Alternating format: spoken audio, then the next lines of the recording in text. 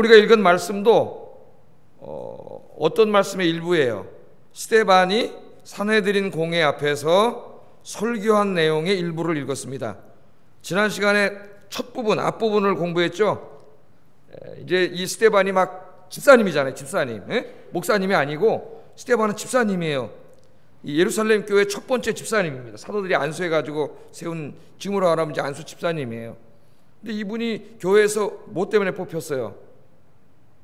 구제의 일, 재정, 뭐 이런 이제 행정적인 일을 하려고 뽑힌 일곱 분 중에 한 분인데 이분은 그런 일만 하는 분이 아니고 그건 그냥 기본으로 하는 것이고 그 다음 날부터 이제 교회 바깥으로 나가면 이분은 전도해요. 열심히 전도하는 분이에요. 전도를 하다 보니까 어, 자기와 같은 헬라파 유대인들이 헬라파 유대인들은 누굽니까?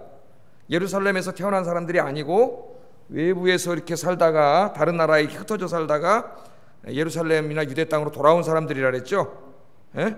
그래서 이스라엘에 특별히 그 이제 혼자 되신 분들이 죽기 전에 조국 땅에 가서 죽는다 그래가지고 그 과부된 분들이 많이 예루살렘으로 돌아와서 어렵게 살았다 그랬어요. 기억나세요? 그래서 사도행전 6장에 그 어려운 사람들을 돕는 문제로 다툼이 일어났잖아요. 잊어먹어도 괜찮아요. 또 제가 또 계속 설교할 테니까 뭐 하여튼 잊어먹어야 저도 또 반복하고 또 계속 하죠.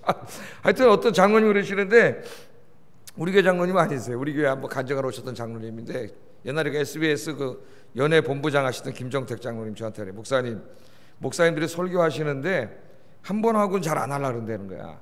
그러지 마세요, 제발 그래. 열 번은 해야 똑같은 설교를 열 번은 해야 그게 생각이 난다는 거예요. 들리고. 그래 내 삶을 변하는데 목사님들이 자꾸 한 번, 두 번 안 하려 그런다는 거예요. 최소한 열 번을 하세요, 열 번. 열 번을 하라래요. 열 번을.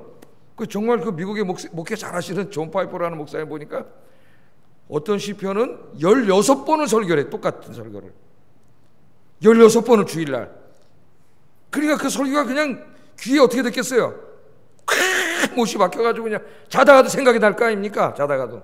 근데 제가 이 기법을 이 시오노 나남이라고 하는 그 일본 역사학자한테 배웠어요 그 로마인 이야기라고 유명한 책을 썼잖아요 16권으로 근데 이 책을 읽으면 역사책을 읽다가 사람 이름 금방 다 잊어먹어요. 사건도 금방 잊어먹고 특히 제 나이 때 읽으면 다 잊어먹어요. 생각도 안 나. 근데 이 사람은 이 책을 쓰면서 계속 반복하면서 써요. 반복하면. 그렇기 때문에 이 책을 그냥 읽기만 해도 기억이 다 나요. 어, 이거 참 대단합니다. 그래서 저도 지금 계속 그런 스타일로 지금 반복하면서 하고 또 반복하면서 하는데 자꾸 반복을 하다 보니까 계속 반복해서 읽다 보니까 이렇게 50이 넘어서 머리가 굳어도 그 내용이 생각이 나요. 생각이. 아, 이게 굉장히 중요한 그 방법인 것 같아요. 방법이. 근데 뭐 저는 뭐 이렇게 해본 적이 없습니다. 그렇게 많이 해본 적이 없어요. 같은 설교를 어, 똑같이 해본 적은 없어요. 본문이 같아도 한 50%는 바꿔서 하지 똑같이 해본 적은 없어요. 어, 앞으로도 그렇게 하려 그러는데 하여튼 이 설교할 때 설교할 때 하여튼 하여튼 여러분 집중해서 듣고 은혜 받으시기 바랍니다. 자 스테반 설교인데 그 사람들이 이제 자기 그 헬라파 유대인들이 와서 예루살렘에다 회당을 하나 만들어 놓고 뭐 회당이 네 개냐 두 개냐 한 개냐 이론이 분분하다 하다 그랬죠 신학자들 가운데 그 문장을 읽으면은 말씀을 읽으면은 네 개일 수도 있고 두 개일 수도 있고 하나일 수도 있어요 문맥 문법상으로는 근데 뭐 우리들은 그네 못 듣고 한개못 듣고 두개못 듣습니까? 예? 우리 뭐 학자들의 관심이지 정밀하게 이제 신학을 연구하는 학자들은 정밀하게 해야죠. 우리에게는 그게 큰 관심은 아니에요. 거기 이제 그 헬라파 유대인들이 모여가지고 성경을 연구하고 그 연구한 성경을 토론하고 가르치고 이런 일들을 어, 이 사람들이 했어요. 근데 헬라파다 보니까 아무래도 저 사내들인 공회 예루살렘에 있는 대제사장과 제사장과 히브리파 유대인들이 볼 때는 적통이 아니잖아요. 적통이 그죠? 인간이니까 그런 생각을 한단 말이에요. 사람들. 저 사람들은 저 디아스포라에서 온 사람들, 다른 나라에서 온 사람들. 그러니까 아무래도 조금 깔아보는 깔아보는 게 좀 있었을 것 같아요. 깔아보는 게. 예? 그러니까 헬라파 유대인들이 그렇게 무시당하지 않기 위해서 하나님의 율법과 성전에 대해서 더욱더 열심을 내는 걸 보여줬습니다. 더욱더. 그런 심리를 여러분 아시겠어요? 더욱더 이렇게 열등의식이나 뭐 이런 게 있을 때 어떻게 해요? 더욱더 강렬해지고 방어 기제도 더욱더 강렬해져요. 열등의식이 많은 사람들을 보면은 그런 삶의 모습이 나타나요. 그 어쩔 수가 없어요. 열등의식의 발로기 때문에. 그러니까 이 사람들도 약간 히브리파에 대한 열등의식이 있었기 때문에 무시당하지 않으려고 율법과 성전에 대해서 더 보수적인 견해를 자기가 가지고 있다는 것을 보여주려고 노력하는 그런 게 있었다고요. 그러니까 오히려 히브리파보다도 더 강력하게 모세율법과 성전을 중요시하고 강조하는 이런 사람들이에요. 이 헬라파 사람들이. 근데 거기에 가가지고 스테반이 그들과 이제 신학 토론을 했죠. 우리 6장에서 공부했잖아요. 그죠?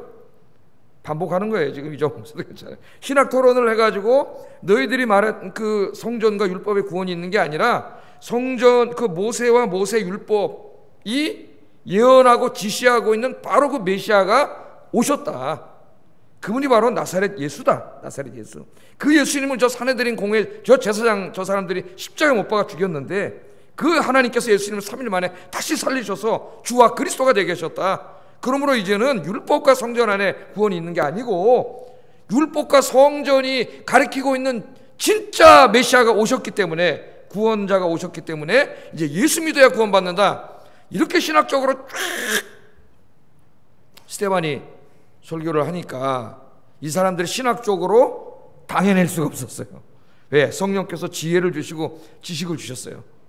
저도 이제 머리가 별로 안 좋은데 신학을 공부하다 보니까 하나님이 원래 제 IQ보다 몇 배의 더 지혜를 주시더라고 IQ를. 예? 그래서 신학 공부하면서 똑똑하다 소리를 많이 들었어요 선생님들한테. 예? 그래서 공부 다 하게 됐는데 하나님 지혜를 주셔가지고 그냥 하나님 말씀 이 설교를 보세요. 이 설교를 지금 아브라함부터 시작되는 오늘도 읽었는데 이거 그냥 무슨 원고 보고 한 설교도 아니고 저는 원고를 이렇게 여섯 장이나 써갖고 와갖고 지금 예? 설교를 하잖아요. 여섯 장이나. 그런데 원고도 없이 그냥 지금 막이 이 설교를 하는 걸 보세요. 대단한 사람이죠. 당해낼 수가 없으니까는 그 말을 듣고 회개해야 되는데 화가 나가지고 거짓 증인들을 세워가지고 스테반이 모세와 성전을 모독하고 하나님을 모독했다고 거짓말을 시켜가지고 끌고 가서 사내들인 공회 앞에 끌고 가가지고 이놈이 지금 하나님도 모독하고 모세와 성전을 모독했습니다. 유대인들에게 있어서 성전과 율법은 여기에 대해서 부정적인 말을 하면 바로 죽어요. 돌멩이 맞아 죽어요. 어떻게 보면 하나님보다 더 중요해 그 사람들은. 그게 우상화됐어요 우상화. 율법과 성전이 우상화된 사람들이에요. 하나님이 하나님보다 더 위에 어떻게 보면 이 사람들이. 예? 그러니까 대제사장이 딱 그 말을 다 듣고 있다. 안 그래도 눈에 가시 같은 놈들인데. 예? 사도행전 7장에 뭐라 그랬어요? 우리 앞에 대제사장이 어떻게 했어요? 1절에 어떻게 시작했어요? 대제사장이 이르되 이것이 사실이냐 이렇게 물어봤잖아요. 그죠? 이것이 사실이냐? 그랬더니 스테반이 그 질문을 받고 이제 스테반이 이르되 7장 2절부터 쫙 설교를 하기 시작합니다.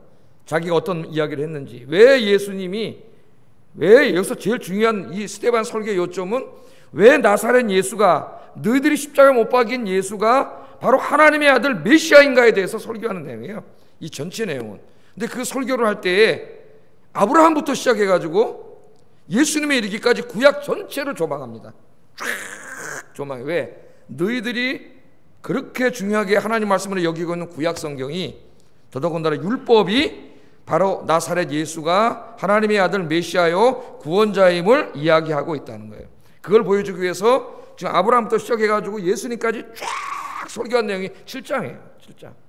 이 설교를 마치고 스테반이 하늘을 딱 보니까 하늘 문이 쫙 열리고 하나님의 아들 예수님이 하나님 보좌 우편에 탁 서 있는 걸 보게 되지 않습니까? 아, 이 스테반이 그렇게 해서 이제 그 설교를 탁 했어요. 아브라함부터. 그래서 지난 시간에는 예, 아브라함부터 이제 그 애굽으로 건너오기까지 몇 명 건너왔다 그랬어요. 예? 아 지난 시간에 막 열심히 했는데 그래도 괜찮습니다 잊어먹어도. 세상 일도 많은데 또 잊어먹어 75명이 왔다. 그렇게 사도행전에 기록되어 있잖아요 75명이. 근데 출애굽기하고 창세기 읽으면 70명이 왔다고 기록되어 있다. 이게 어떻게 틀린 거냐? 성경이 왜 이렇게 불일치하냐 숫자가. 그 제가 지난주에 설교한 거 가르쳐 드린 거 생각나세요 안 나세요? 어떻게 된 건지는 잊어먹었지만 생각은 나시죠. 예. 모순이 아니라 결국은 세법이 달랐기 때문에 그런 거지 같은 거다 그렇게 얘기를 그건 생각나시죠? 에, 누가 여러분 물어보면 어떡할래요? 여기 왜 70명에 75명 어떡하죠? 에, 잊어먹으신 분은 오늘 집에 가셔가지고 설교를 다시 틀어 컴퓨터를 틀어놓고 거기 나와요. 그럼 볼펜 하나 들고 계산해가지고 외우세요. 에? 그래 한번 공부를 해 놓으세요. 공부를.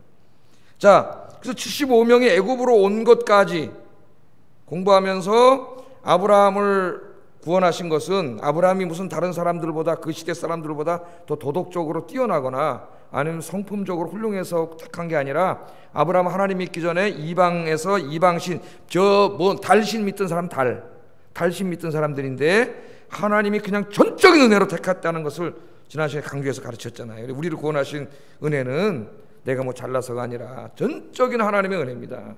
그렇게 지난 시간에 공부했죠. 예? 왜 하나님이 이 많은 사람들 가운데 나를 택하셨는지 나는 모르지만은 하나님이 내 인생에 찾아오셔서 나를 구원해 주신 거예요. 말할 수 없는 사랑과 은혜로 저와 여러분이 구원받은 줄로 믿습니다. 자, 지난 시간에 거기까지 공부했어요. 근데 오늘 이제 그 다음 오늘 공부한 읽은 내용이 17절부터입니다. 오늘 읽은 내용은 주로 모세에 관한 이야기예요. 모세와 출애굽. 물론 이제 선지서까지 뒤에 보면 한 절 나오는데 주로 이제 내용이 모세와 출애굽까지 모세에 대한 내용이에요. 모세에 대한 내용. 그래서 오늘 이제 이 말씀을 공부를 하는데 이게 이제 두 가지에 좀 초점을 맞추려고 그래요. 하나는 스테반이 아까 제가 이미 말씀드린 것처럼 산해드린 공회 앞에서 그 대제사장과 제사장과 율법학자들 헬라파 유대인들에게 너희들이 십자가 못 박아 죽인 나사렛 예수가 바로 하나님의 아들 메시아라는 것을 성경적으로 해석하고 증명하기 위해서 이 설교를 한 게 이제 가장 큰 것이고 두 번째는 오늘 요 본문에 국한시켜 보면은 특별히 요 본문에서는 에, 이 스테반이 강조하는 건 뭐냐면은 이 모세의 이야기를 통해서 스테반이 강조하는 것은 우리를 구원하시는 하나님의 은혜, 우리를 구원하시고 사명을 주시는 하나님의 은혜. 물론 아브라함에게도 그게 나타납니다. 아, 거기에 대해서 강조합니다.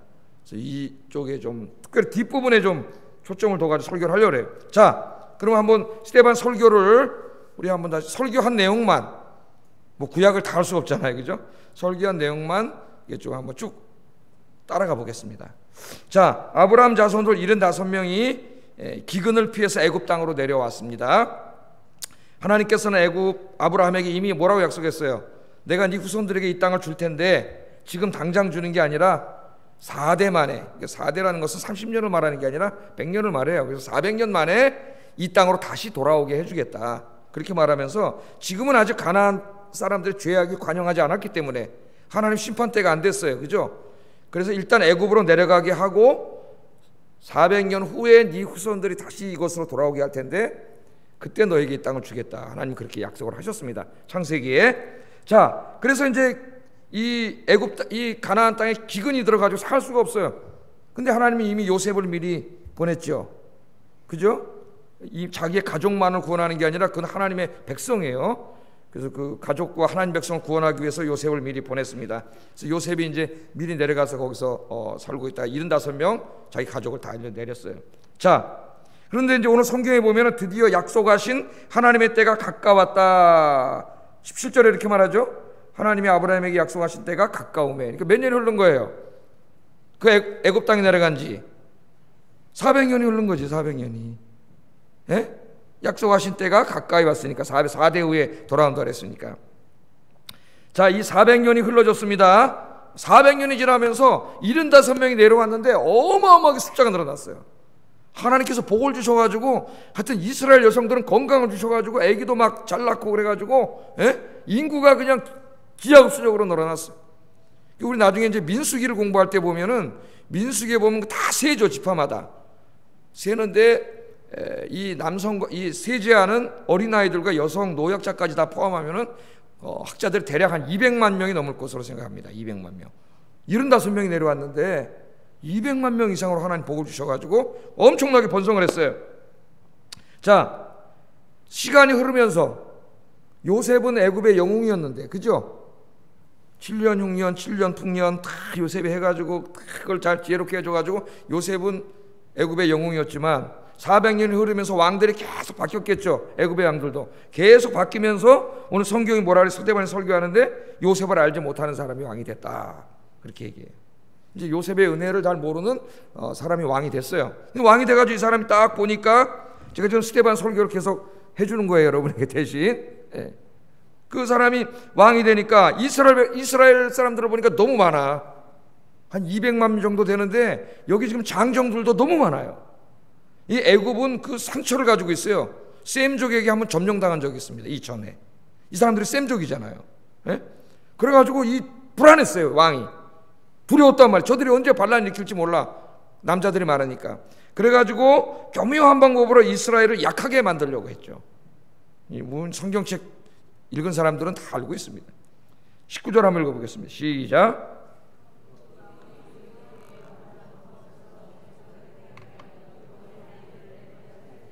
예.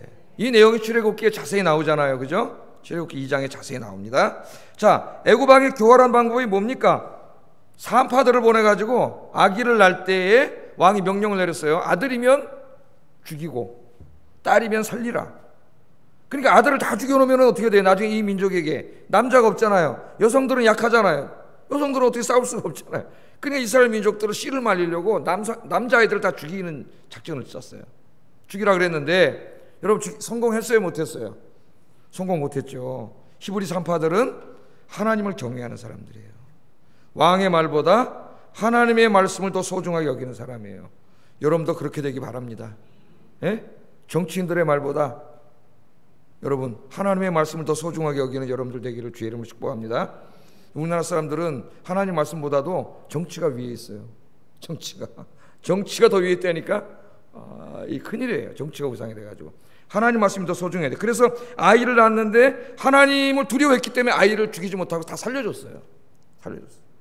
대단한 대단한 거죠. 이거 여기서 이제 우리 애들이 기독교 시민 불복종 운동 뭐 이런 곳에 근원을 찾기도 하고 그렇습니다. 아무리 국가의 명령이 할지라도 그 명령이 하나님의 말씀을 어기는 것을 명령할 때는 우리 그리스도인들은 그 국가의 법에 따를 수 없어요.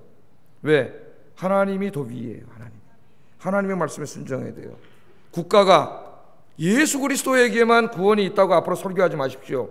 그런 다른 종교를 폄하한 죄로 뭐 벌금형을 때리거나 법적으로 문제를 삼겠습니다.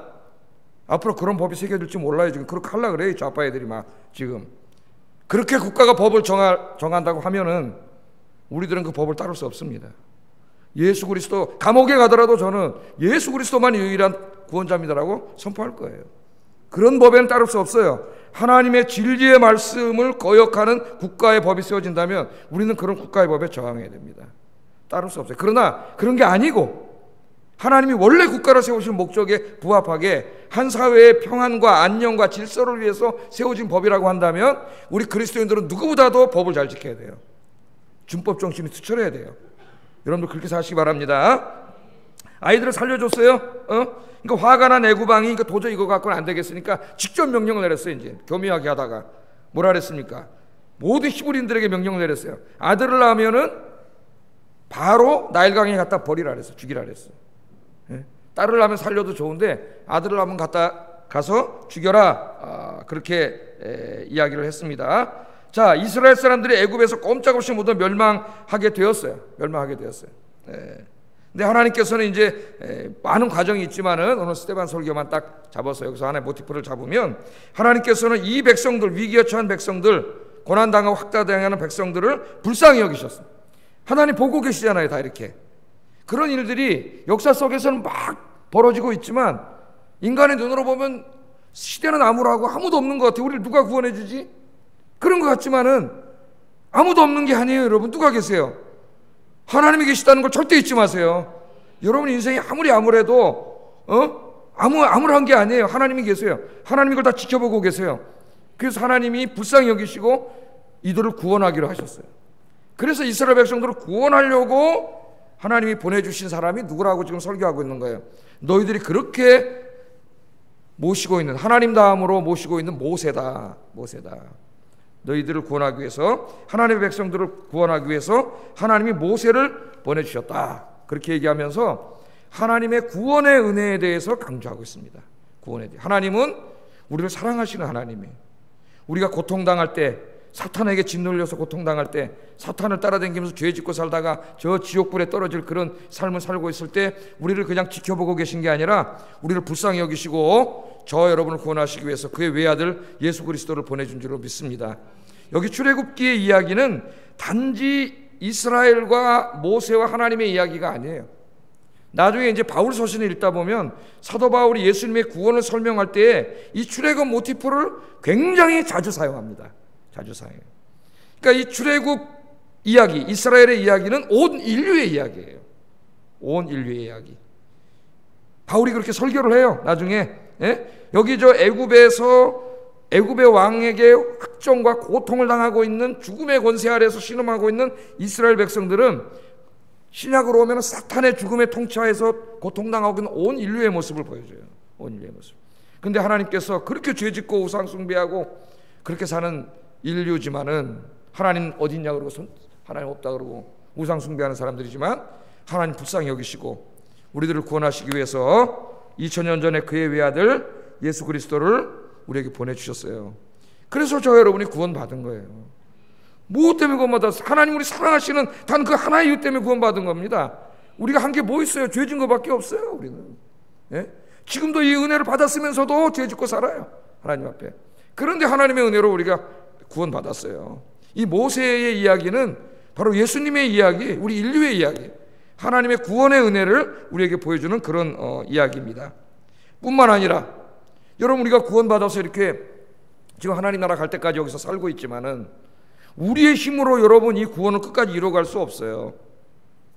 왜? 마귀가 있어요. 사탄이 약한 영이 어둠의 권세, 죽음의 권세, 죄의 권세를 붙잡고 지금도 할 수만 있으면 택하신 자도 쓰러뜨리려고 배고파 우는 사자처럼 먹잇감을 찾아다니는 이 악한 어둠의 권세 사탄과 그와 함께 타락한 수없이 많은 악한 영들이 여러분 눈에 안 보이지만 지금 시끌시끌합니다. 이 공중의 권세를 잡고 있어요. 우리의 힘으로 이 사탄의 공격과 사탄의 유혹을 이길 수 없어요. 우리는 금방 쓰러집니다. 그렇기 때문에 예수님이 십자가에서 죽으시고 부활하신 다음에 하늘 보좌에 올라가셔 가지고 누구를 보내 주신 거예요? 우리를 지키시기 위해서. 우리를 지키고 구원하기 위해서 성령님을 보내 주신 거예요. 그러니까 여러분이 예수 믿는 순간 여러분 혼자가 아니라 하나님의 영이신 성령님이 여러분 안에 계신 거예요. 저 여러분 안에. 그래서 사탄이 우리를 공격하고 유혹해서 이 구원에서 떨어뜨리려고 할 때 성령께서 우리를 지켜주시기 때문에 우리가 사탄의 공격과 유혹에 넘어가지 않고 승리할 수 있는 거예요.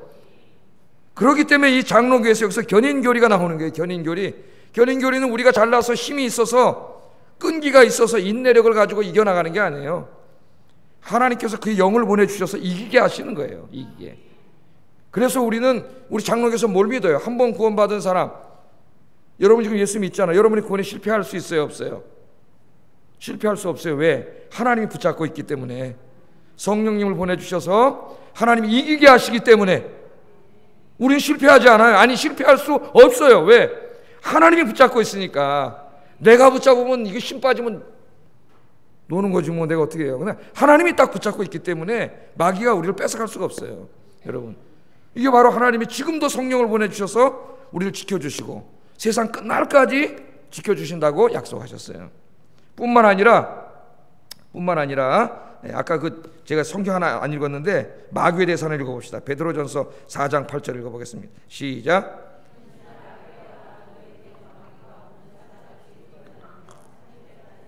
여러분 마귀가 지금 이러고 있다니까요. 배고파 우는 사자처럼 지금 삼킬 자를 찾아 댕깁니다. 우리 정신 차리라 했죠 사도 바울이 예? 무장해제하고 살지 말고 정신 차리고 있으라 그랬어요. 지금 산길자를 찾아 다녀요. 그런데 염려할 거 없습니다. 우리가 하나님 의지하고 기도하면은 백전백승 이긴다 그랬죠. 그러나 기도하지 않으면 이길 수 없어요. 마귀를. 우리는 이길 힘이 없어요. 성령님 도와주셔야 돼요. 그러나 하나님은 우리에게 이 마귀로부터 지켜주실 뿐만 아니라 마귀를 대적해서 싸워서 이길 수 있는 힘도 주셨어요. 마가복음 16장 17절 읽어보겠습니다. 시작. 아멘. 여러분 예수님의 이름으로 명하면 귀신이 물러갑니다. 도망갑니다. 나사렛 예수의 이름으로 명하노니 사탄아 물러가라. 예수님이 그렇게 하시 사탄아 물러가라. 그러면 여러분 물러가요. 예수님을 믿는 사람이 그렇게 하면 물러가요. 예수님을 안 믿는 사람이 흉내내 가지고 무슨 주문을 외우듯이 사탄아 물러가라. 그럼 사탄이 뭐라 그래? 야 내가 바울도 알고 예수는 아는데 너는 뭐냐 이놈아 그래 붙어 가지고 사도행전에 나오죠. 짓눌러 짓눌러 꼼짝을 못 해. 그러나 정말 예수 그리스도를 믿어서 예수의 영, 하나님의 영이 그 안에 계신 사람은 사탄이 딱 보면 알아요. 하나님의 영이 딱 거기 있기 때문에 예수의 이름으로 명하노니 사탄아 물러가라 그러면 여러분 마음속에 찾아왔던 마귀가 다 그냥 한 길로 왔다가 일곱 길로 도망간다고 예수님 말씀하셨잖아요. 할렐루야. 그래서 야고보서 4장 7절에 마귀를 대적하라. 읽어보겠습니다. 시작. 아멘. 마귀를 대적하라. 마귀는 어떻게 해야 돼요? 마귀하고 손잡으면 안 돼요. 친하게 지내면 안 돼요. 마귀하고는 마귀는 대적해야 하는 거예요. 싸우는 거예요. 우리가 마귀를 예수의 이름으로 대적하면 마귀는 도망갑니다. 피합니다. 마귀를 무서워하지 마세요. 마귀를 너무 과소평가하는 것도 문제고 마귀를 요새 그 신사도 운동이 뭐냐 하면서 너무 하나님 같이 강력한 존재로 지금 만들어 놓는 거 이거 더 큰 문제예요. 마귀는 강력한 존재이면 틀림없지만은 예수님이 이미 승리하셨기 때문에 예수 믿는 사람이 예수의 이름으로 명하면 아무것도 아닌 존재예요. 그러나 여러분이 예수님 의지하지 않고 그냥 살면은 마귀에게 여러분 꼼짝 못해요. 잡혀서. 오늘부터 여러분 더 열심히 예배드리고 기도하셔서 마귀를 능히 대적해서 쫓아버릴 수 있는 능력의 그리스도인들이 되시기를 주의 이름으로 축복합니다. 뿐만 아니라 우리 주님께서는 우리를 이제 마지막으로 완전히 구원하시기 위해서 주님 약속하실 때가 되면 어떻게 하신다고요? 다시 재림하신다 그러잖아요. 다시 오세요. 아직 구원이 완성되지 않았어요. 우리가 구원받았지만 우리가 살고 있는 세상은 구원받지 못한 세상이에요. 죄악이 관영하고 공중의 권세 잡은 마귀가 죄와 죽음의 권세를 가지고 지금도 막 산기자를 찾아다니는 세상이에요. 예. 그러나 성령을 보내주셔서 우리가 이기게 하지만 마지막으로 주님께서 다시 오실 때 그때 마귀를 완전히 심판해 가지고 죄와 사망도 완전히 심판해 가지고 하나님께서 묶어서 무적행에 갖다 심판하신다 그랬어요. 이 땅이 하나님의 나라가 되고 여러분을 영원히 구원해 주십니다. 그게 우리 기독교의 소망이에요, 소망. 예? 모세를 통해서 보여주셨고 예수님을 보내주셔서 구원을 성취하셨고 지금도 성령을 보내주셔서 우리를 계속 구원해 주시는 하나님께서 때가 되면 그의 외아들을 다시 보내주셔서 우리의 구원을 완성해 주실 줄로 믿습니다. 예, 하나님 우리의 구원의 하나님이 우리가 이 은혜 때문에 여러분 영하 15도에도 여러분이 오늘 교회를 나오실 수 있었던 것은 바로 그 은혜 때문에 나온 거예요. 성령님께서 여러분 마음속에 오늘 15도지만 교회 가라. 그래서 여러분 오신 거예요. 교회 가도록 여러분의 마음에 막 작동을 하셔가지고, 예? 그래서 오신 거예요. 그냥 온 게 아니에요, 여러분. 하나님이 인도해 오신 거예요. 여러분이 늘 이기고 승리하고 감사하게 사는 것도 하나님이 그렇게 해주신 거예요. 늘 감사하는 삶이 넘치기를 주의 이름으로 축복합니다. 자, 다음은 구원의 은혜의 생각. 다음은 이제 예, 하나님께서 모세를 통해서 사명을 주시는 그 사명의 모티프를 좀 한번 생각해 보겠어요. 두 번째. 스테반이 강조하는 게 사명입니다. 사명. 자, 하나님께서 이제 모세를 통해서 택하신 백성들을 구원하시려고 할 때 어둠의 세력은 사탄이 가만히 있지 않습니다. 방해하려고 했어요. 방해. 제일 먼저는 어떻게 하려고 했어요? 아예 모세가 태어나거든 태어나자마자 죽여버리려고 했죠. 예? 애구방을 충동시켰어요. 애구방의 마음속에 들어가서 야 저놈들 다 죽여버려라. 이 마음 누가 줬을까요? 인간의 마음속에 그런 마음을 들게 하는 영적인 존재가 있어요. 그냥 애구방이 가만히 죽여버린 게 아니라고 이 어둠의 권세인 사탄이 들어가서 죽이게 마음을 뒤집어 놓은 거예요. 저 김일성이 김정은이 시켜가지고 그 안에 들어가서 악한 짓을 해가지고 마귀가 지 고모부도 방사기 쏴서 죽이게 만든 거예요. 여러분. 이 마귀가 아예 그냥 모세가 아기 때 그냥 죽여버리려 했어요. 죽여버려. 그러나 우리가 아까 것처럼 하나님의 은혜로 모세를 죽일 수 없었죠. 오히려 하나님께서는 그 아기를 모세를 죽이려고 하는 그 왕, 그 애구방 바로의 딸을 통해서 참 희한합니다. 하나님이라시는 것도. 그 딸 하츠헵숫이라고 하는 그 딸, 그 공주를 통해서 그 모세를 구원해 주셨어요. 하나님께서. 그러니까 그 왕궁의 공주가 모세를 키웠습니다. 보호하고. 이 공주는 제가 옛날에 출애굽기 강의할 때 얘기했듯이 바로 왕의 수많은 몇십 명의 공주 중에 하나가 아니에요. 외동딸이에요, 외동딸. 그래서 이 왕이 죽은 다음에 이, 이 공주가 한동안 애굽을 섭정하는 애굽의 황제였습니다. 황제. 애굽의 영토를 상당히 넓힌 유능한 황제예요. 이 여자가 나중에 자기 남편에게 양보했지만은 어, 하츠엡스이라고 하는 여자예요. 그이 여자 최고의 권력자가 모세를 데려다 보호해서 자기 아들로 해서 키우게 만들었어. 하나님이 참 희한하죠. 근데 거기 그 여자에게만 맡겨놓으면은 안 되잖아요. 그러니까 또 하나님께서 어떻게 해요? 모세의 엄마를 유모로 또 탁 뽑아가지고 왕궁으로 착 들어가서 실제로 모세를 키운 건 누구예요? 어렸을 때 모세의 엄마예요. 모세의 엄마. 모세의 엄마가 들어가서 자기 애를 젖먹이면서 월급을 받으면서 키워 내가 얘기하잖아요. 자기 아기를 키우면서 국가로 월급 받은 여자라고. 예? 그렇게 오면서 자라면서 너는 애굽인이 아니고 너는 태양신의 아들이 아니라 너는 히브리인이고 이스라엘 사람이고 너는 아브라함과 이삭과 야곱의 자손 언약의 자손 하나님의 자손 만군의 여호와 하나님의 자손이라는 것을 어려서부터 엄마가 키운 거예요 엄마가 그리고 아기가 어느 정도 자랐을 때는 이제 왕궁 학교에 보내져 가지고 모세가 거기서 최고의 세상 교육을 교육받습니다 지도자 교육 왕자들이 받는 지도자 교육을 받아요 하나님이 이 모세를 사용하시기 위해서 40년 동안 다 교육을 시킨 거예요. 다 필요한 거예요. 그런데 이 모세가 이제 나중에 하나님 지도자로 나오지 않습니까? 그걸 볼 때 이 애굽의 왕궁의 최고의 학자들이 시킨 교육이 엄마의 모태 교육을 이기지 못합니다. 그 제가 이야기하죠. 그래서 이 영아부, 유치부, 유년부, 주일학교 교육이 굉장히 중요하고 가정에서 부모의 신앙 교육이 굉장히 중요한데 이 어린 나이 때 특별히 그 유치원 영아부 고 나이 때 뇌과학자들에 의하면은 그 유치부와 영아부 나이 때 우리 뇌 거의 95%가 결정된다 그래요. 어렸을 때 여러분 저기 여기 완저 아이들 저 애기들이 예? 영아부 애들이 여러분 얼마나 예배 잘 드는지 아세요? 페이스북에 한번 와보세요. 한 살 두 살때 하루 예배 드립니다. 우리 저 영아부가 아마 세계에서 제일 유명한 영아부예요. 예? 애기가 예배 드려요. 애기가 그 영화부 출신은 유년, 유치부 와서 다르다 그래요. 예배를 벌써 딱 드려요. 예배를 하나님 앞에 뇌가 다 결정되는 거예요. 거기서 나중에 보세요. 어떤 일이 벌어지. 이거를 우습게 알면은 큰일 나요. 어리석은 부모들이에요. 어리석은 부모들. 그래 하나님이 다 교육을 교육을 시켜가지고 40년 동안 이 하나님 쓰시려고 다 교육을 시켜니까 여러분 이게 깨닫는 게 뭐냐면은 여러분이 이제 주의 일도 하고 다양한 일들을 하시고 봉사를 하시고 그러는데 이제까지 살아온 우리의 인생이 결코 헛된 게 없습니다. 여러분. 예? 어떨 때는 낭비하는 것 같고 저거 헛된 인생을 살아온 것 같고 바보같이 살아온 것 같고 그렇지만은 결국 전체적으로 보면은 하나님 쓰시려고 다 필요하기 때문에 그때 고생도 시키고 망하게도 하시고 예? 뭐 따돌림도 당하게 하시고 다 하나님 시킨 거예요. 지금도 하나님이 이렇게 만들어 가고 있어요. 저도 마찬가지죠. 예? 저도 저를 보면은 어떤 때는 실패를 통해서 더 많이 배우게 하세요.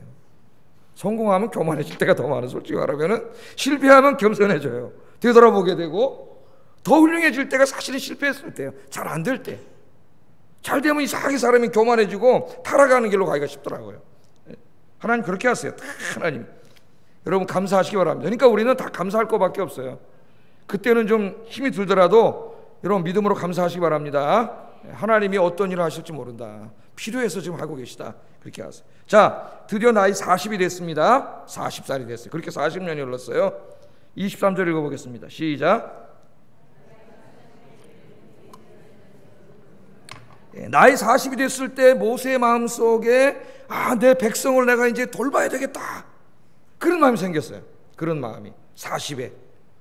그래서 옛날에 보통 40이 되면 담임 목사님, 담임 목, 단독 목회를 하려고 이제 에, 나갔던 것 같아요. 요새는 더 늦어지고 있습니다. 45살 뭐 이렇게 에, 늦어지고 있는데 40세에 그 마음이 들었어요. 아내 애굽에서 평생 동안 애굽 교육, 태양신의 아들이 되는 그 교육을 받고 자란 사람 마음속에 내 백성을 구원해야 되겠다는 이 생각이 어떻게 들었을까요? 엄마의 교육 때문에 드는 거예요. 엄마의 교육이 잊혀지지 않는 거예요. 너는 여호와 하나님의 아들, 히브리인이고 아브라함과 이삭과 야곱의 우선 언약의 백성이라고 하는 것. 그 엄마가 어렸을 때부터 가르친 그 교육이 이 아이의 평생을 떠나지 않습니다. 우리 할머니들은 아기 키우시면은 잘 가르치세요. 할머니가 아기를 다 키울 수 있어요. 아이들 이렇게 믿음으로 또 아이를 낳은 엄마들은 아이도 그렇게 잘 키워야 돼요. 그 나이 40이 되면 이 자기 자신을 돌볼 생각이 난 거예요. 엄마 교육이 생각났어요. 예? 그리고 또 이 마음 누가 주신 거예요, 결국은. 하나님 주신 거죠. 이걸 우리가 사명감이라 하잖아요. 사명. 사명. 오늘 여러분 예배 지금 드리고 계신데 여러분 마음속에 하나님 사명감으로 불타게 하시기를 주의 이름으로 축복합니다. 예, 어떤 일이든 내가 주님을 위해서 일해야 되겠다. 쓰임 받아야 되겠다. 40에 하나님이 그 마음을 주셨어요. 그래서 모세가 40에 이제 한번 나가봤습니다. 왕궁을 나가 자기 민족들이 고통당하는 곳에 나가봤어요. 정말 막 고통을 당하고 있어요. 막 애고방이 그 국고성 두 개를 지면서 여기 강제 노동 노, 노예를 끌어다가 막 부려먹고 있고 예? 고통을 당하고 있는데 딱 보니까 그 고, 강제 노동에 시달리는 것도 안타까워 죽겠는데 아이 보니까 애굽 사람이 자기 동족을 부당하게 때리는 걸 봤어요 모세가 화가 났을까 안 났을까요? 화가 났어 모세가 그래서 쫓아가서 그냥 애굽 사람 때려 죽여버렸어요. 때려 죽여가지고 모래에다 묻어버렸어요. 묻어버렸어요. 잘한 일일까요? 못한 일일까요? 예? 기분적으로는 참 시원한데, 예? 잘한 일일 것 같아요? 못한 일일 것 같아요? 아직 그 하나님의 일을 하려고 하지만은 왕성함이 있지만은 아직 좀 뭔가 미숙한 모습이 보여집니다. 그래서 하나님 40년 동안 더 훈련을 시키시는데 하여튼 묻어버렸어요. 자, 묻어버리고 어, 이 어떻게 생각을 했냐면은 야 이것을 보고 자기 동족 히브리인들이 오늘 성경에 보면 그렇게 얘기하죠. 애굽으로부터 어 내가 바로 저 사람이 이 애굽의 압제로부터 우리를 구원할 하나님 원하신 구원자구나. 그렇게 받아들일 줄로 생각했다 그랬어요. 모세가. 25절 한번 읽어보겠습니다. 25절 시작.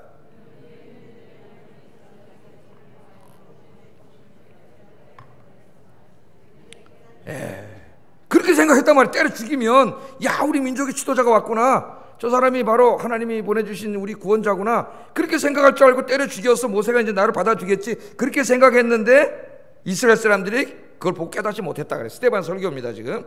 깨닫지 못했다는 거예요. 모세의 생각이 빗나갔습니다. 히브리인들은 그 광경을 보고도 모세를 지도자로 생각한 게 아니라 모세를 오히려 대적해요. 대적. 그 다음 말씀 스테반 설교에 보면 나오죠. 다음날 모세가 또, 또 나갔어요. 고통받는 대로.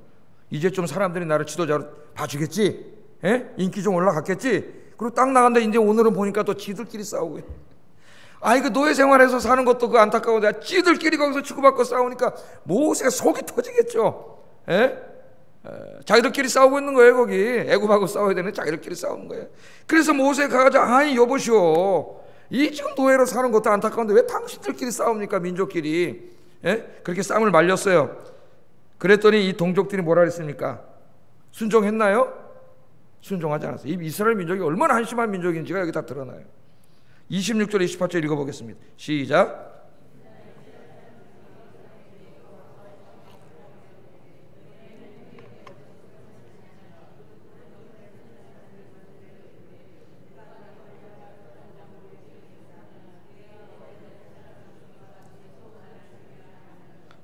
예, 이걸 말리고 왜 싸웁니까? 여러분 우리 동족끼리 잘 지내야지 그랬더니 야 임마 누가 너를 우리 재판장으로 세웠어? 누가 가는 네가 뭐야? 이렇게 네가 뭐야? 누가 너를 하나님이 세워서 보낸 사람을 순종하고 따르지 않고 거역하고 우리 삿대질하면서 네가 뭐냐? 예? 네가 누구를 이게 타락한 인간의 마음이야. 한심한 민족의 모습이 여기 그대로 나요. 대들었습니다. 결국 모세가 애굽인을 죽인 일이 바로에게 알려지게 됐어요. 누가 알려줬는지는 출애굽기를 읽어도 안 나오고 오늘 본문 읽어도 안 나옵니다. 누가 알려줬을 것 같아요? 히브리 사람들이 알려줬을 것 같아요. 아니면 애굽인들이 몰래 숨어서 봤을 것 같아요. 잘 모르겠어요, 저도. 하여튼 알려졌어요. 알려지니까 이 애굽 왕이 화가 나가지고 모세를 죽이려고 했습니다. 그래서 모세가 더 이상 살 수 없어서 도망을 가게 됐어요. 미디안으로 도망을 어, 갈 수밖에 없었어요. 자, 이걸 한번 보세요. 여기서 또 메시지가 있어야 돼요, 여러분. 메시지가. 예? 메시지가. 이게 뭡니까? 사탄이 말이죠. 모세가 하나님의 백성들을 구원하는 사명을 감당하려고 하는데 그 감당하지 못하도록 계속해서 방해하는 모습을 보여줘요. 아기 때는 죽여서 그냥 아예 싹을 없애버리려고 그래요. 40이 돼서 좀 해보려고 그러니까 백성들이 또 나와가지고 모세를 거역하게 만들어요. 예? 그것까지도 참고 어떻게 해보려는데 또 이게 알려져 갖고 바로 왕이 죽일라 그래. 죽일라 그래. 그래서 사명을 감당할 수가 없어 가지고 미디안 땅으로 어, 도망을 갔어요. 도망을 갔어요. 여러분 이게 명심하세요. 주 얘기를 하려고 그럴 때 마귀가 꼭 방해합니다. 에, 방해. 여러분 지지 말고 이기시기를 주의 이름으로 축복합니다. 자, 이제 실망해서 미디안 땅으로 갔습니다. 거기서 이제 40년을 또 호송생활하게 돼요. 40년. 그런데 마귀가 여기에 준비해 놓은 덫은 바로 왕이 죽이려는 덫보다 더 무서운 덫이에요. 가나안 땅에 간다. 어떤 덫인가 한번 보세요. 거기서 미디안 여인을 만나 가지고 결혼을 했어요. 미디안 제사장 그 딸을 만나 가지고 그 딸이 누구의 이름이 십보라라는 여자를 만나 가지고 결혼을 했어요. 그래서 아이들 아들까지 둘 낳고 아들까지 둘 낳습니다. 오늘 스테반이 설교하죠. 처갓집 양을 치면서 아마 부자였어요. 처갓집 부잣집 딸 데려온 거니까 예? 부잣집에 장가 갔더니 양도 많고 에? 예? 그래가지고 그 부자 처갓집 부잣집에 대릴사비로 들어간 거죠. 그러니까 그 양들 자기 장인 양 치면서 정말 편안하게 살았어요. 편안하게 사니까 40년이 훌쩍 지나갔어요. 40년. 모세 나이 몇 살 됐어요? 80세 됐어요. 80세. 29절 한번 읽어보겠습니다. 시작. 예, 결혼해서 아들 낳고 초가집 장인어른 양치면서 편안하게 살았는데 너무 편안해가지고 하나님도 다 잊어먹고 사명도 다 잊어먹고 그렇게 40년 동안 살았어요. 모세의 잃어버린 40년. 예? 여러분의 인생은 잃어버린 인생이 없기 바랍니다. 지금부터 하나님 앞에 갈 때까지 예? 무의미하게 시간을 보내는 인생이 없어야 되겠어요. 40년 물론 여기 의미를 찾을 수도 있겠지만 뭐 어떤 사람은 하나님 연단시켰다고도 뭐 그러고 그러지만 뭐 그런 건 잘 보이지가 않고요 사실은 자 40년을 살았어요. 인간적으로 편안하게 사는 것이 여러분 항상 좋은 게 아니에요. 그걸 아셔야 돼요 여러분. 하나님께서 맡기신 일들을 버려두고 세상적인 편안함을 누리며 사는 것은 하나님께서 기뻐하시는 삶이 아닙니다. 그것은 복된 삶이 아니라 영적으로 나태하고 게으른 삶이에요. 이게 지금 마귀가 쳐놓은 강력한 덫이에요. 아, 편안하게 살게 해주자. 마누라 만나서 애 낳고 부잣집에 가서 양치면서 편안하게 살게 해주자. 마귀가 이걸 딱 만들어 놨더니 편안함의 덫에 빠졌어요. 편안함의 덫. 여러분, 경제가 성장하고 예? 국가의 부가 늘어가고 사람들이 경제적으로 잘 살아지면서 신앙생활 잘하는 경우는 기독교 역사에 거의 없습니다. 핍박받고 가난하고 환란 당하고 그럴 때는 목숨을 걸고 신앙을 지켰지만은 경제적으로 성장하고 편안해졌을 때 신앙을 지키고 제대로 신앙생활을 한 경우가 거의 없어요. 이게 마귀가 해놓은 어떻게 보면 하나님 복이라고 할 수도 있겠지만 축복이 그 편안한 삶이 마귀가 그걸 터치로 이용할 때 다 걸려들었다는 거예요. 그 편안한 삶에. 모세는 40년 동안 하나님께서 주신 사명을 잊어먹고 결혼하여 양치면서 인간적인 편안함을 누리며 살았습니다. 거기에는 자기를 거역하는 동족도 없고 자기를 죽이려는 애구방도 없고 얼마나 편했겠어요. 편안하게 살았죠. 그러나 이 인간적인 편안함 속에는 하나님의 구원 계획을 막으려는 사탄의 계략, 올무가 숨어 있었다는 거예요. 사탄의 올무가. 사탄은 편안하고 안락한 삶을 통해서 모세를 꼼짝 못하게 붙지 않았습니다. 꼼짝 못하게. 자, 여러분은 어떻습니까? 하나님 우리나라 얼마나 잘 살게 해주셨는지 진짜 우리나라 엄청나게 잘 삽니다. 어마어마하게 부자 나라에 풍요로워졌어요. 예? 돈도 많고 옛날에 비하면 뭐 진짜 뭐 비교가 안 될 정도로 어, 잘 살게 됐잖아요. 우리나라가. 하나님이 이렇게 많은 걸 주셨는데 이것들을 가지고 또 주님을 잘 섬기고 주의 일을 하고 선교하고 이렇게 하라고 하나님이 다 주신 거예요. 많은 시간도 주시고 그랬더니 하나님이 주신 것들을 가지고 지금 우리나라 사람들이 뭐 하고 있어요? 기독교인들이 예? 우상 섬기는 데다 사용하고 있어요. 어, 내가 언제 우상 섬겼습니까? 무슨 여러분 저 우상 우상 앞에 가서 뭐 절하고 그래야 우상 섬기는 겁니까? 하나님보다 다른 것들 세상의 것들을 더 소중하게 여기고 예배 빼먹고 안 나오는 밥 먹듯이 하고 예?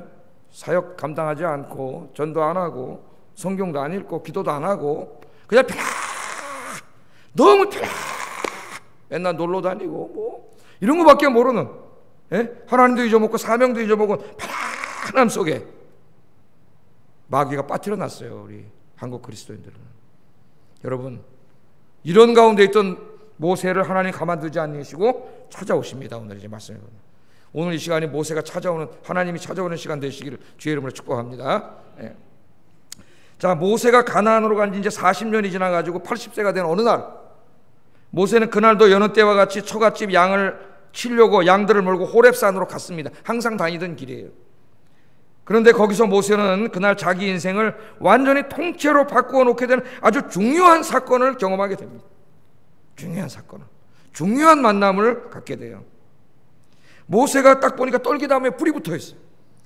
떨기나무는 그 건불과 같은 겁니다. 여러분 이제 건불과 같은 예? 건불이 말라 비틀어진 거니까 불 붙으면 그냥 후루룩 타버리는 거예요. 사막에 있는 떨기나무에 불이 붙어 있는데 순식간에 타서 없어져야 되는데 모세가 이렇게 보니까 불은 붙었는데 이 건불이 타질 않아. 불만 있는 거예요. 그 깜짝 놀랐겠죠. 어 이게 무슨 일이지? 그리고 모세가 자세히 다가갔다 그랬어요. 오늘 말씀해 보면. 그게 무슨 일인가 보려고 자세히 갔는데 가까이 갔더니 거기서 누가 계세요? 그 불은 그냥 이런 물리적인 불이 아니라 여호와 하나님이 영광 중에 임재한 모습이었어요. 할렐루야.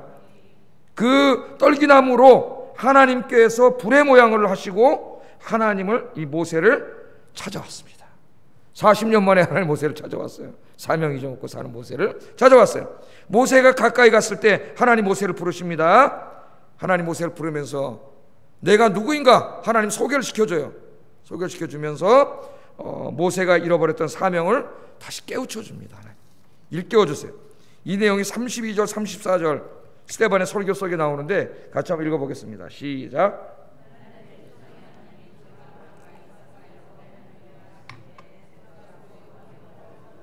주께서 이르시되 내 발의 신을 벗어라. 내가 서 있는 곳은 거룩한 땅이니라. 내 백성 애굽에서 괴로움을 받음을 내가 확실히 보고 그 탄식하는 소리를 듣고 그들을 구원하려고 내려왔노니 이제 내가 너를 애굽으로 보내리라 하시니라. 아멘. 자 이날 모세는 전혀 뜻하지 않은 곳 호렙산에서 하나님을 만났습니다. 하나님을. 호렙이라는 뜻이 무슨 뜻이냐면 황폐한 땅이란 황폐한 땅 혹은 쓸모없는 땅이라는 의미예요 호렙이 모세의 현재의 삶의 모습을 상징적으로 암시하고 있습니다. 모세는 겉모습만 보면 편안하고 안락한 삶을 살고 있습니다. 재산도 있고 가정도 있고 자녀도 있고 전혀 부족한 것이 없습니다. 인간적인 눈으로 보면 편안하고 안락한 삶인 것 같아요. 그러나 영적으로 볼 때 모세의 삶은 호랩이 호랩. 황폐화된 삶입니다. 황폐화된 삶. 하나님이 모세를 볼 때는 호랩의 인생을 살고 있는 거예요. 황폐화된 인생을. 사명 잊어먹은 인생은 아무리 그 인생이 부유하고 평안하게 살더라도 호랩이라는 것을 잊으면 안 돼요, 여러분. 황폐화된 인생입니다. 하나님 떠난 인생, 하나님이 주신 사명을 잊어버린 인생은 그가 인간이 볼 때 아무리 뭐 돈이 많고 호화찬란하게 살고 부잣집에서 산다 할지라도 하나님의 사명을 잃어버린 인생은 호랩 땅과 같은 인생, 황폐화된 인생, 버림받은 인생. 임을 하나님 우리에게 가르쳐 줘요. 가르쳐 주고 있습니다. 이것을 우리가 착각하면 안 되겠습니다. 그런데 오늘 출애굽기 저자를 출애굽기서를 읽어보면은 이 호렙산을 하나님의 산이라 그래요. 하나님의 산. 원래는 황폐한 산이라 그래야 되는데 하나님의 산이라고 다시 부르고 있습니다. 호렙은 황폐화된 산이었지만 그곳에서 하나님께 그곳에서 그곳에 하나님께서 영광 중에 임재해 계셨기 때문에 하나님의 거룩한 산이 된 거예요. 중요한 걸 우리에게 가르쳐 줍니다. 그날 이 황폐했던 호렙산은 그냥 이제 황폐한 산이 아니에요. 하늘과 땅이 만나는 곳이 됐습니다.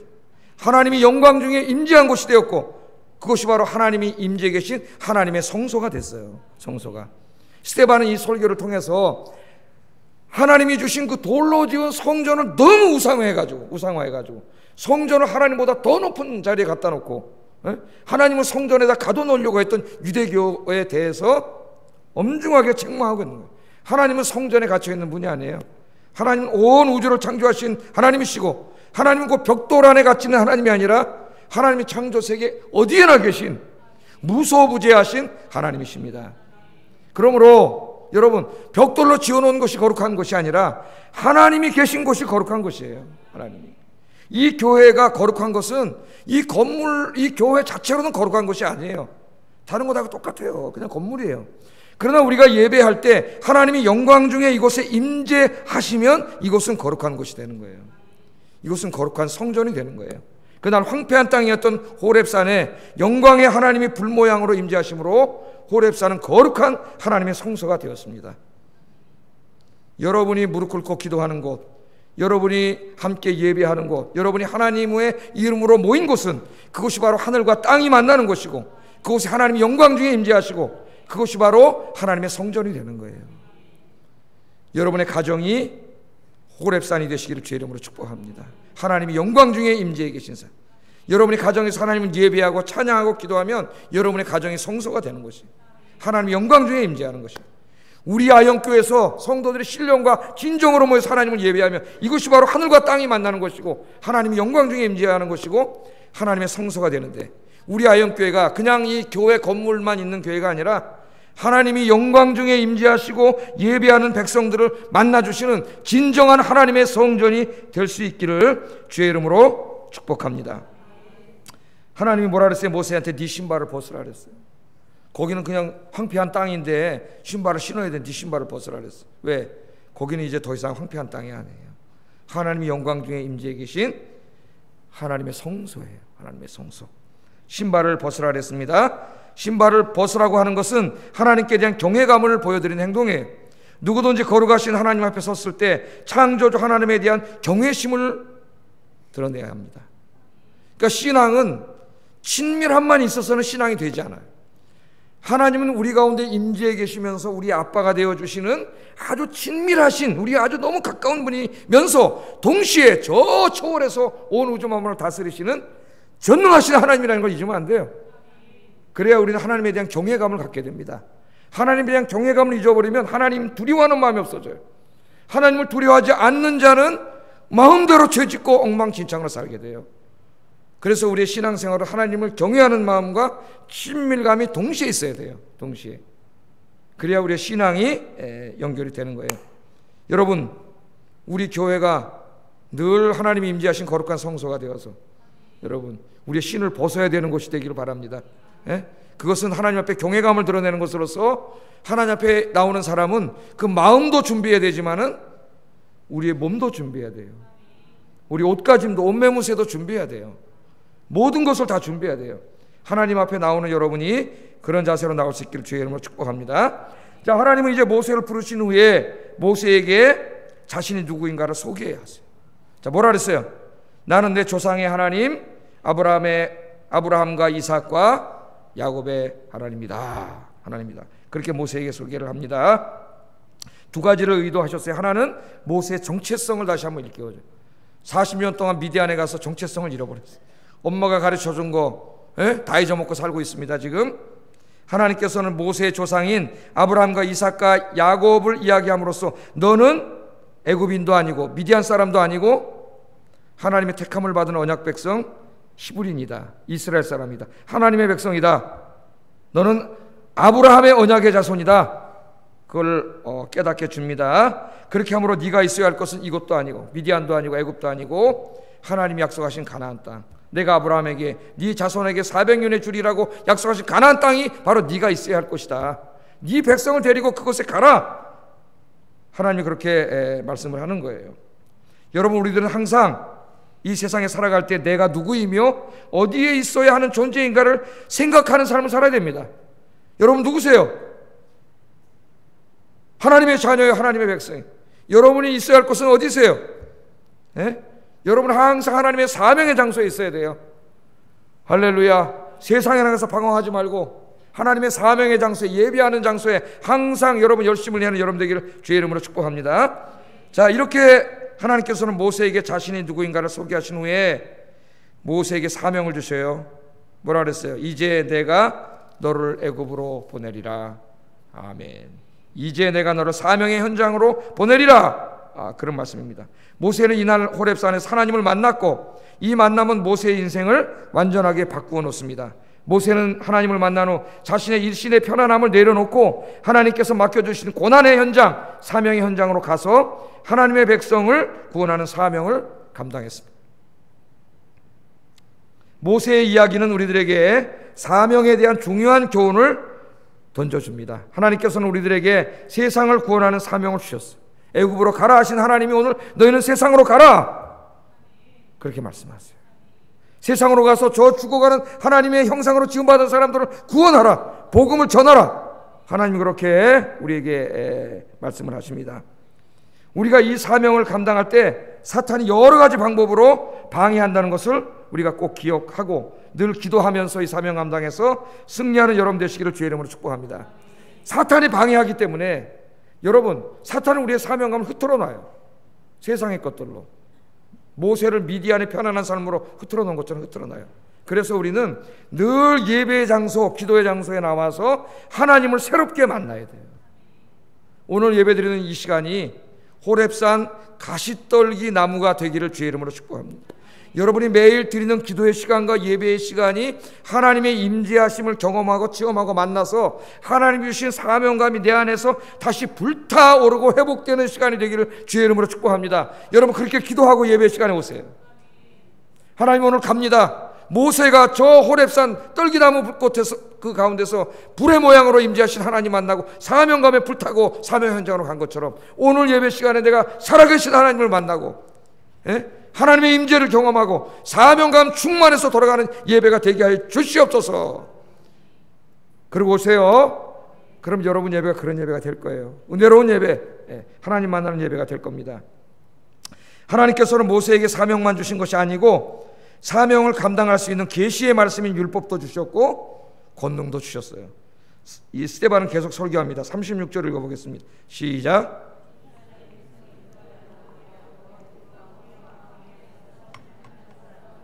예, 홍해를 가르고 40년 동안 기적과 이적을 행하는 권능을 주셨죠.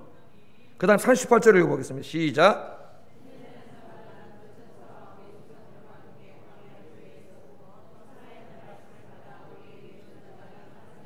예, 천사를 통해서 하나님의 계시의 말씀, 어떻게 살아야 되는가를 가르쳐 주는 안내의 말씀이 율법의 말씀도 주셨어요.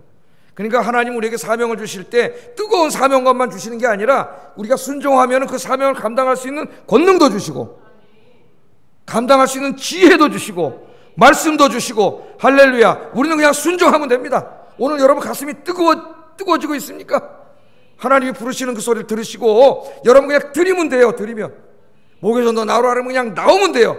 나오면 그럼 하나님이 권능도 주시고 지혜도 주셔서 사명 감당하게 하실 줄로 믿습니다.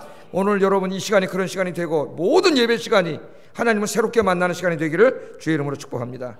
자 마지막으로 마지막으로 오늘 설교에서 아주 핵심적인 설교가 하나 있어요. 37절이에요. 37절. 모세를 소개하면서 이렇게 얘기합니다. 읽어보겠습니다. 시작.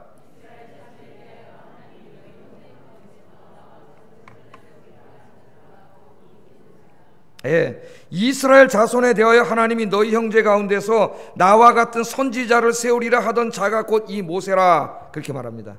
그러니까 모세가 뭐라고 얘기했어요? 신명기에서 마지막 때의 종말에 하나님이 너희를 구원하기 위해서 나와 같은 선지자를 세울 것이다.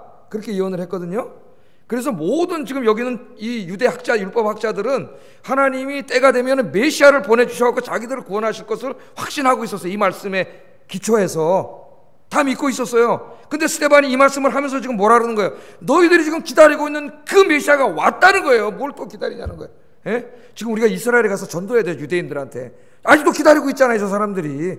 이 지금 이 모세가 예언한 이 메시아를 지금도 기다리고 있잖아요. 저기 2000년 전에 오셨는데 이제 다시 오실 건데 그 예수님이 스테반이 얘기하는 거예요. 그 메시아가 이미 왔다 이 바보 같은 놈들아. 그러진 않았지만 이 사람들아 그 예수님이 오셨어. 너희들이 죽인 메시아 그 나사렛 예수가 바로 바로 모세가 예언한 이 예수님이 아니냐. 예수님이 아니냐. 오늘 그렇게 강력하게 설교하는 거예요. 여러분 지금 이 설교를 누구한테 하고 있어요? 그 예수님 십자가에 못 박아 죽인 사람들 앞에서 하고 있어요. 죽인 사람들 앞에서. 결국 이 설교하다가 스테반이 그들의 분노를 사가지고 돌멩이 맞아서 순교합니다. 죽게 돼요. 여기서 하나님께서 우리에게 또 중요한 거 하나 메시지를 어, 우리에게 가르쳐 주고 있어요.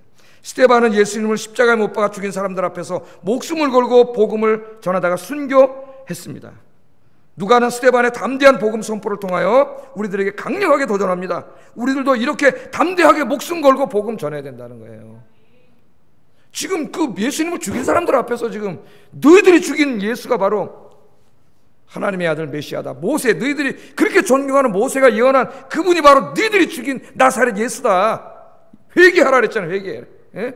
회개하면 하나님 용서해 주시니까. 이 설교를 담대히 하다가 그는 순교했어요. 순교했어요. 여러분 스테반처럼 내일부터 나가셔서 목숨 걸고 담대하게 복음 증거하시기를 주의 이름으로 축복합니다. 사람들에게 무엇이 소중하냐고 가장 소중하냐고 물으면 여러분 뭐가 제일 소중해요? 돈? 돈이 제일 소중합니까? 어, 그럴 수 있죠. 돈이 제일 소중할 수 있죠. 네? 그 돈보다 더 소중한 게 있어요. 뭐가? 여러분 생명이 돈보다 더 소중하죠. 여러분 죽을 병 걸렸는데 10억 내서 약 하나 사 먹으면 예? 병 고친다면 안사 먹겠어요. 10억 어떻게든지 가서 해서 먹잖아요. 돈보다 생명이 더 중요해. 사람들이 목숨이 제일 중요합니다. 예? 그런데 여러분 목숨이 중요해요. 물론. 그래서 우리는 우리 생명을 잘 건강하게 잘 가꾸고 건강하게 살아야 될 책임도 있어요. 그러나 여러분 목숨을 여러분 인생에 제일 소중한 것으로 여기면 큰일 납니다. 우리들은 목숨보다 더 소중한 게 있어요. 그럼 뭐예요? 하나님이세요. 하나님. 하나님이 목숨보다 더 소중해요.